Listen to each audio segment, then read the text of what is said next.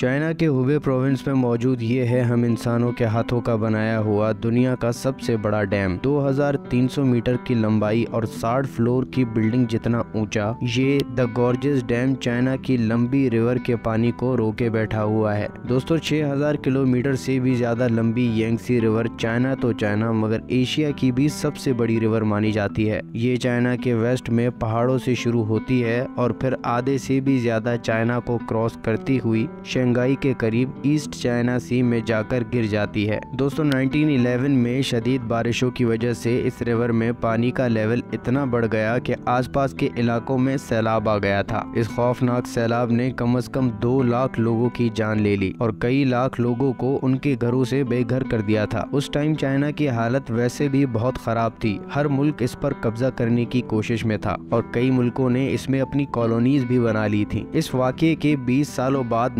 1931 में एक बार फिर यंगसी रिवर बारिशों की वजह से फ्लड कर गया और इस बार जो तबाही हुई, उसने पूरे चाइना को हिला कर रख दिया था। ये तबाही इतनी ज़्यादा थी कि चाइनीज़ गवर्नमेंट को अपने नुकसान का अंदाज़ा भी नहीं हो पा रहा था। लेकिन कुछ अंदाजों के मुताबिक इस नेचुरल डिजास्टर में 20 लाख इंसानी जाने जाया हुई। इतने ज़्यादा नुकसान के बाद भी आने वाले सालों में यंगसी रिवर पर सैलाब का सिलसिला थम ना सका। ये सैलाब का सिलसिला ग्लोबल वार्मिंग की वजह से इस रिवर में बढ़ता ही जा रहा था। इस मसले से जान छुड़ाने के लिए चाइना के पास सिर्फ़ एक ही ऑप्शन मौजूद था कि यंगसी रिवर के पानी को रोक कर यहाँ डैम बनाया जाए। लेकिन ये मुमकिन कैसे होगा? इतनी बड़ी और वाइल्ड रिवर को थामे रखने के लिए चाइना को क्या कुछ बड़ा प्लान करना था? थ्री गॉर्जेस डैम की कंस्ट्रक्शन 1994 में स्टार्ट हुई जिसपे एक वक्त में चालीस हज़ार वर्कर्स काम करते थे। पूरे 17 सालों की मेहनत के बाद 2011 में ये पूरी तरह फंक्शनल हुआ। ये दुनिया के सबसे बड़े डैम के साथ साथ इंसान का बनाया हुआ दुनिया का सबसे बड़ा कंक्रीट का स्ट्रक्चर भी है। इस मेगा स्ट्रक्चर में दो करोड़ अस्सी लाख क्यूबिक मीटर कंक्रीट इस्तेमाल हुआ था। एक्सपर्ट का मानना है कि इतना ज़्यादा कंक्रीट अगर स्विट्जरलैंड जैसे मुल्क में डाला जाए तो पूरा का पूरा स्विट्जरलैंड दो फीट कंक्रीट के नीचे छुप के धस जाएगा।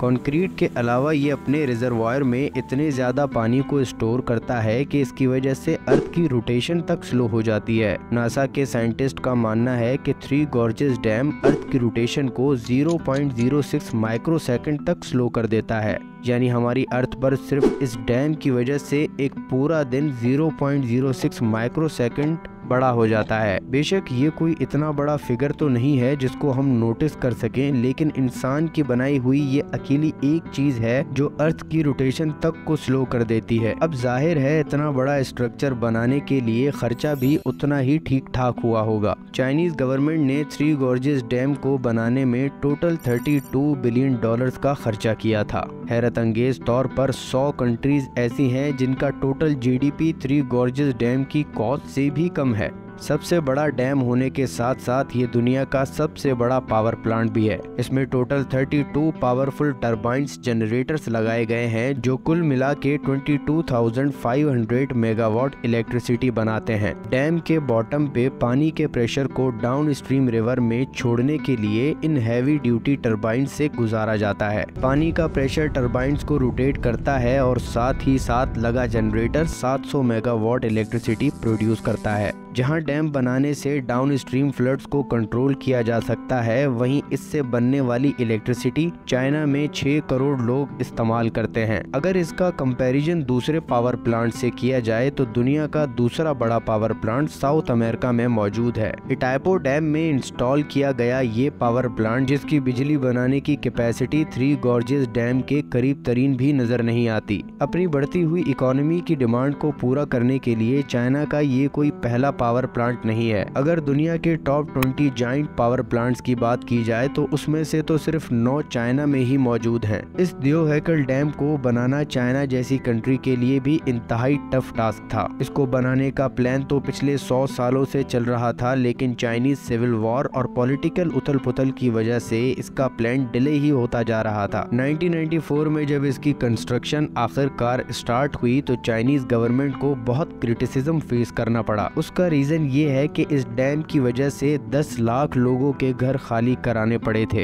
यंगसी रिवर के किनारे जितनी भी पॉपुलेशन थी, उनको वहाँ से हटाना बहुत ज़रूरी और बहुत मुश्किल टास्क था। आज भी 1500 से ज़्यादा छोटे बड़े गाँव इसी डैम के पानी के नीचे मौजूद हैं। अगर सैटेलाइट से देखा जाए तो ये रिवर 1994 से पहले कुछ इस तरह का मंजर पेश करती थी। पहाड़ों के बीच से गुजरता हुआ रिवर का ये लेवल डैम बनने के बाद बहुत ज़्यादा बढ़ने वाला था। ठीक इस जगह पर दोनों पहाड़ों के बीच में 2300 मीटर लंबी और 181 मीटर ऊँची कंक्रीट की वॉल को खड़ा करके यंगसी रिवर के पानी को रोका गया। सैटेलाइट इमेज में भी आप इजीली देख सकते हैं कि ये डैम बनने से पहले रिवर की चौड़ाई सिर्फ़ 700 मीटर्स थी, लेकिन डैम बनने के बाद 3600 मीटर तक फैल गई। पर सवाल ये है कि इतने ज़्यादा पानी के रास्ते को ब्लॉक करके डैम की वॉल को कैसे बनाया गया? सिर्फ़ डैम ही नहीं, बल्कि पानी में भी स्ट्रक्चर को बनाने के लिए पानी को रोकना बहुत ज़्यादा ज़रूरी होता है और चाइनीज़ इंजीनियर्स ने भी ऐसा ही किया। यंगसी के रिवर में आधे हिस्से में पत्थर डालकर उसके लेवल को आहिस्ता आहिस्ता इस रिवर से भी ऊँचा कर दिया। अब चूँकि पानी अपना रास्ता खुद ही बना लेता है तो इस रिवर का पानी इस रुकावट की वजह से बची हुई साइड से निकलने लगा।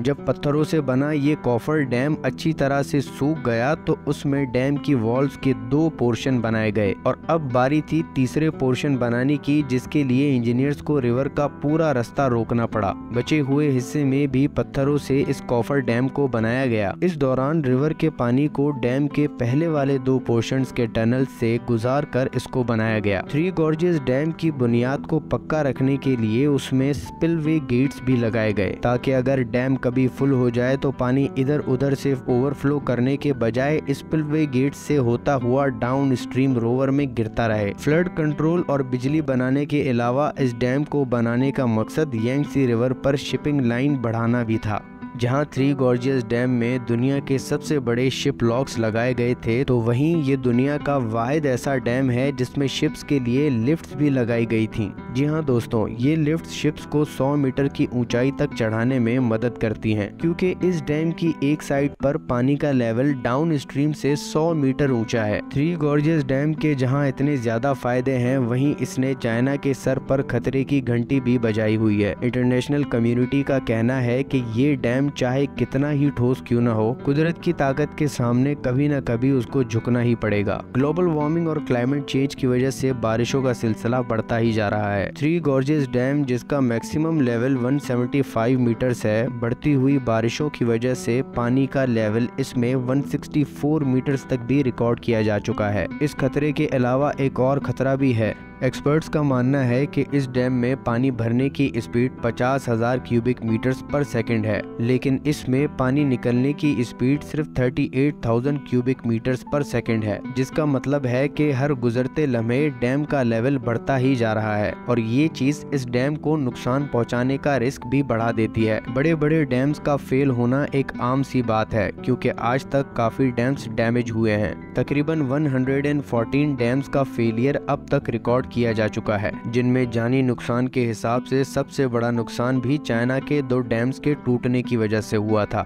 8 अगस्त 1975 को चाइना की हेनन प्रोविंस में बना हुआ बैंकियाओ और शेमतन डैम्स ज़रूरत से ज़्यादा बारिश पड़ने की वजह से पानी के लेवल को बर्दाश्त नहीं कर पाए।